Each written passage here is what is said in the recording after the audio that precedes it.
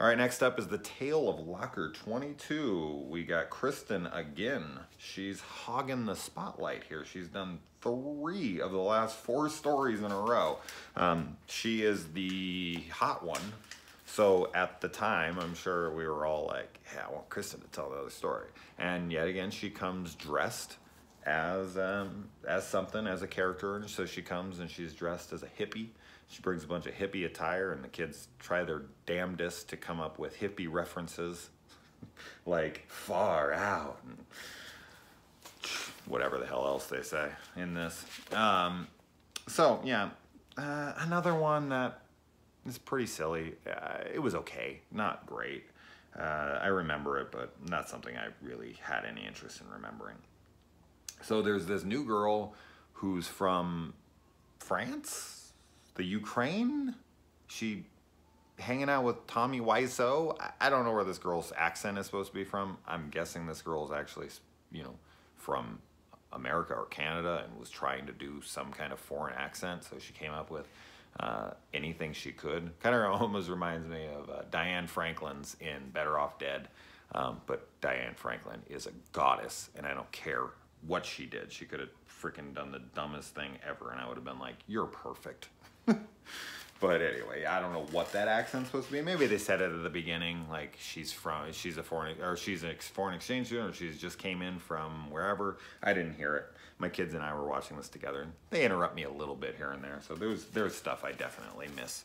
So if I ever am like unsure of certain things, I'm blaming it on them. Okay, it's always the kid's fault. It's not mine, right? Because I'm a genius who never makes a mistake. Yeah, right. Um, so yeah, so she puts on a necklace. She has this like this school that she goes to. Obviously, has lost it. Uh, lost it? Oh my God! I think I went to this school, especially from what I'm about to say. They lost all their funding. Lost it? I don't know what the hell just happened there. Which is actually kind of funny because you know we just went through this teacher strike in Arizona. I, I don't know how much you guys had it all around the world here, but um, over in Arizona for sure. We had a huge strike here that lasted for a while. Kids' schools were shut down for like weeks, and they finally got like a 9% net increase with like a 20%. And it doesn't matter, but it's just funny that I'm talking about this because this school is run down. Like she's going to her locker and it's buried behind like trash and, and like a bunch of like loose items that have just been like haphazardly thrown everywhere. Like it looks like a pin or like a like a ping pong table with like all sorts of like random crap.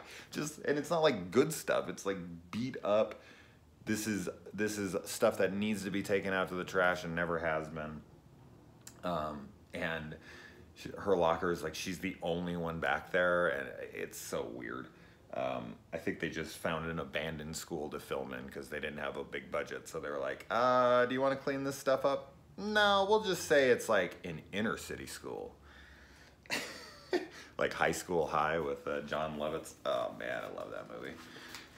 Anyway, so she uh, finds out that she uh, she finds a necklace. She throws it on. She goes back into 1968, and she becomes this girl, Candy something and uh, she's trying to figure out why she's going back and she finds out that uh, she died in 1968 from an explosion at the school because her principal who seems to have some serious anger issues and i'm not sure how he's still the assistant principal i think he's just the assistant principal but my god this guy is freaking like uh, R. Lee Ermey in, in uh, Full Metal Jacket or something. This guy is out of control. Um, but anyway, he, uh, yeah, I guess he screwed up. Maybe this is why he's angry because he killed one of his students um, from a faulty gas freaking uh, cord there. And, um, you know, she goes back in time and she saves uh, her. So then at the end, we find out that Candy actually lived and now she is the assistant principal. And uh, they changed time they they changed like butterfly effect and i don't think that they truly can come like in this show they're not even going to try to attempt like the fact that how many things would have changed like those two people may have probably more than likely never been born and even if they were they probably wouldn't be going to that school everything would be so different one life changed even in the slightest is such a big ripple effect through time so they don't care about that kind of stuff in this show. But yeah, they save her, and nothing has changed except for she's the assistant principal. Even the bullies that were bullying her earlier are still in trouble from what they did to her earlier in the show. But it's just Candy is now the principal and not the other guy. Whatever happened to him, I don't know, maybe killed himself. Hopefully. All right.